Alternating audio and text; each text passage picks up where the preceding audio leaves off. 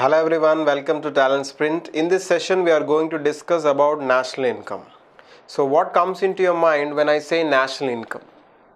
That means when I add the all incomes of all the persons in a country, it may add up to national income. So, we shall see what is actual national income in this topic. So, what do you mean by national income?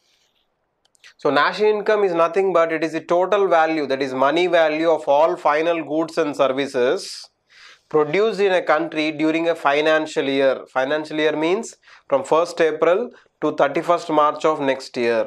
So that means when I add all the money values of all final goods, what do you mean final goods? There are two types of goods. One is final good and another is intermediate good. So what do you mean by final good? Final good means which is ready for use by the consumer. There is no further production on it intermediate good means which undergoes manufacturing process. And it is not ready for use. Okay? So can i call a marker as final good? Yes because it is ready for use. So like that when i add the money value of all final goods and services produced in a country i will get national income in the country for a period of financial year. So national income of a country indicates the progress of the country if it is the, if there is increase in the national income if there is decrease there is called deceleration or lesser growth in the country. Okay? Moving on to the sources from which the income is generated. First we need to know before i calculate national income we need to know from which sources the income is generated in the country. So there are three types of sources from which the income is generated so first is primary sector, next is secondary sector and third is tertiary sector. So what do you mean by primary? Primary means first. That means these people touch the raw material first. Who are those people? Agriculture and its allied activities. What do you mean by agriculture? Agriculture is a science of cultivation of soil. And allied activities means related to agriculture like animal husbandry, like poultry, fishing, all this. Okay, dairy, all these come under allied activities of agriculture.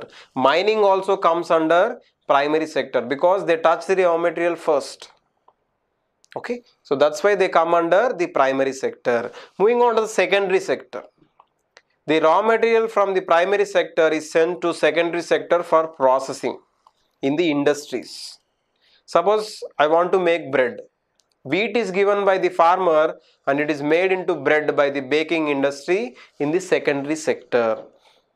Then what does tertiary sector do? They cater or provide services to both primary and secondary sectors. Okay, clear with this? So like IT, banking, transportation, medical, tourism, all these are services.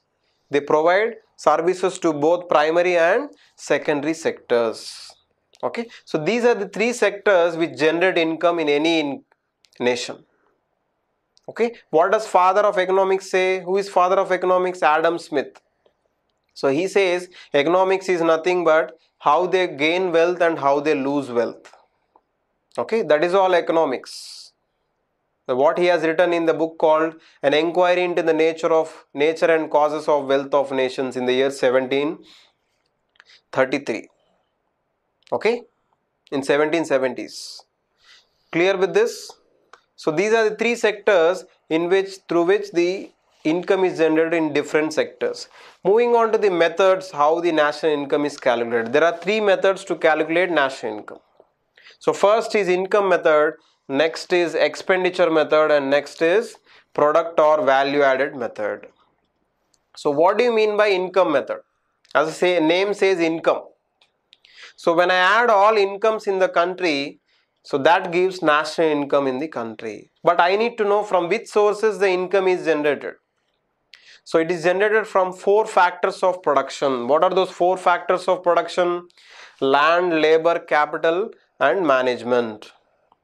So from land we get rent that is an income from the this factor of production. From labor we get wages or salaries. From capital we get profits from management sorry from capital we get interest from management we get profits so these are the four factor incomes under which any person is categorized. Tell me any person who goes out of this category. I am working from for some organization. I am doing my labor force. I would get my salary. Suppose there is a uh, person who, who wants to buy a land. Okay, he will buy from another person. He it generates income and he may give it rent for another person. Okay, he may start a company there. There he will get profits he may give loan to some other person he may get interest on that so all the persons in any country are categorized into these four categories only so when i add all these incomes all these factor incomes that gives my national income of the country so this is the income method which is mostly used in india okay next moving on to the expenditure method so what is income is equal to income is equal to expenditures plus savings so when I assume savings as 0, so income is equal to expenditures. That means if I calculate expenditure that is income. So adding all expenditures gives national income assuming savings as 0. So what are the types of expenditures we have? The first is investment expenditure. What is investment expenditure? To make a product, the manufacturer makes investment expenditure or manufacturing expenditure. And to buy that product, the person, the consumer has to make consumption expenditure. Are there only two or any other expenditures?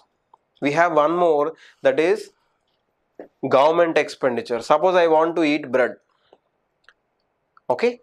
So to make that bread, the manufacturer makes manufacturing expenditure to buy that bread, I make consumption expenditure. But to transport that bread, I need roads. The government also spends some money to lay those roads. So that is called government expenditure. So these are the three types of expenditures we have for any product. So when I add all these expenditures, that gives national income of a country. Okay. So moving on to how do we calculate generally? You can see from the diagram, the government expenditure, the investment expenditure and the consumption expenditure. And also we add the x minus m. X stands for exports and m stands for imports. So when i add all these expenditures let net exports that is when i'm subtracting imports from exports that is called net exports that is x minus m i will get national income under expenditure method this is the expenditure method C plus I plus G plus X minus M gives a national income under expenditure method. Moving on to the next method that is product or value added method. So what do you mean by value addition? We have one tax called value added tax. So if you know this we can know how the value added tax is levied. So first what is value added method? For all the value addition done when I add all these value additions it gives national income of the country. What do you mean by value addition? We will see with a small example. Suppose a farmer has made a product that is called wheat of worth rupees 100 rupees. Okay, and baker taking this 100 rupees wheat, he has made 300 rupees of bread. Then what is the value addition done by baker here? 300 minus 100 that is a value addition of baker. What is the value addition of farmer? 100 rupees. So when i add both these value addition i'll get 100 plus 200 that is 300 rupees. So here the national income is 300 rupees. So like that if i add all the value addition for all the products in the country i will get national income under value addition method. In india most used methods are income method and value added method Clear with this three methods? So moving on to the next one that is GDP, gross domestic product. So what do you mean by GDP? So gross domestic product has the same definition of national income. It is the final value of all goods and services produced in the country during a financial year. And what is the difference between national income and GDP? See, national domestic. Suppose I take an example called domestic airlines and international airlines. Domestic airlines will fly within the country only. International airlines will fly outside the country. So when I say domestic means I am not including foreign trade. So when I say national means I will include foreign trade. So that is a major difference between GDP and national income. Okay.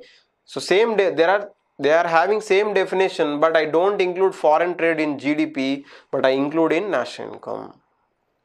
Moving on to the next topic in that GDP that is GDP deflator. It is equal to nominal GDP by real GDP into 100.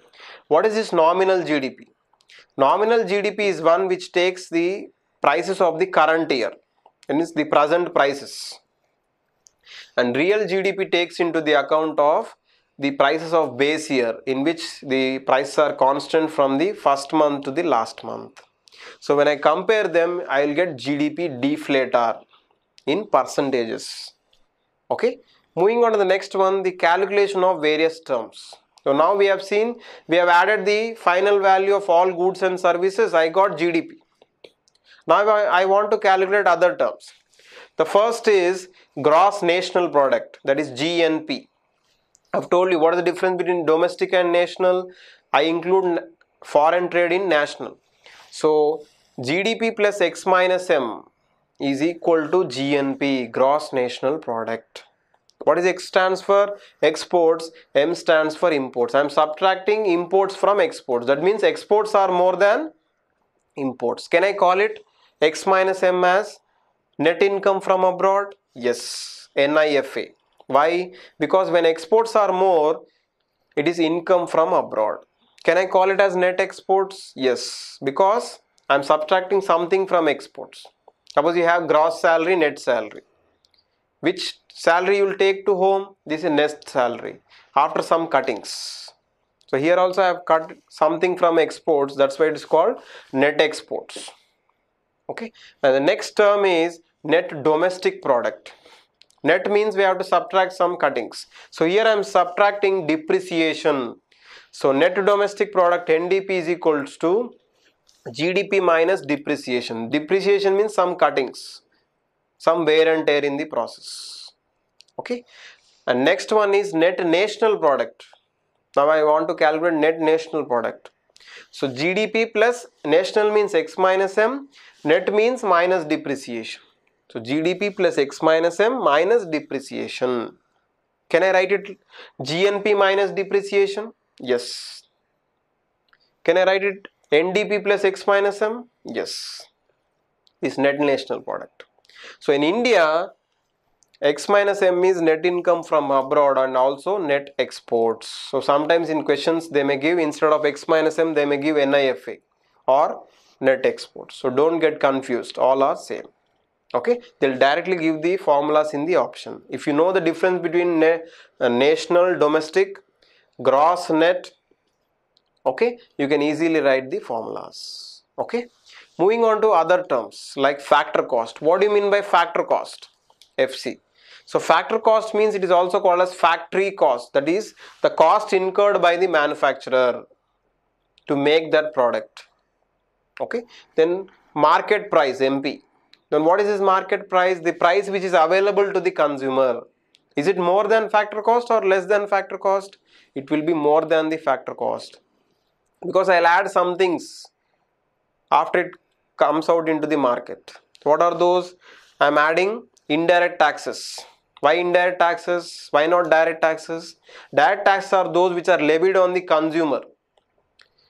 Indirect taxes are levied on the products consumed by the person that is excise duty, customs duty, all these service taxes. They are levied on the products consumed by the person. Then why I am removing subsidies? Suppose a, a price of a product is costing 100, 105 rupees. Now the government has given 5 rupees subsidy. Now I am removing it. So the price of the product available in the market is 100 rupees only. So market price is equals to factor cost plus indirect taxes minus subsidies. Okay. In India, GDP means GDP at factor cost, not at market price. Okay, we are calculating GDP only at factor cost and national income means NNP at factor cost, net national product at factor cost. Okay, moving on to the next one, India's economic scenario. So what are the India's economic scenario? We shall see now. So what is the value of GDP of India for 2016? 2.2 trillion US dollars. What is how much is trillion? Trillion is thousand billion. How much is billion? Thousand million. How much is million? 10 lakhs. Okay, and if you take in terms of percentages, it is 7.1 percentage for 2016 okay next if i take national income it is 149.94 lakh crores for the financial year 2016-17 okay then what is per capita income per capita income means per person income how will i get per person income if i divide national income with total population i will get per capita income how much is it 1 lakh 3219 rupees for 2016-17. This is the India's economic scenario. Coming to world economic scenario. Okay. USA has around 18.5 trillion US dollars. This is the largest GDP in the world. And China has the second place with 11.2 trillion US dollars. And India has seventh place with 2.2 trillion US dollars. Okay, as for 2016. Then moving on to the contribution of different sectors to India's GDP. We need to know how, which sector contributes higher, which sector contributes lower. So what are the three sectors we have? Primary, secondary and tertiary sectors. So which is the largest con contributing sector? That is tertiary sector, that is services sector. It is contributing 54 percentage. And secondary sector is contributing 29 percentage and primary sector that is agriculture is contributing very less that is 17 percentage this was opposite in 1950s but now it is like this okay? This is all for this session. We'll meet in the next session. Thank you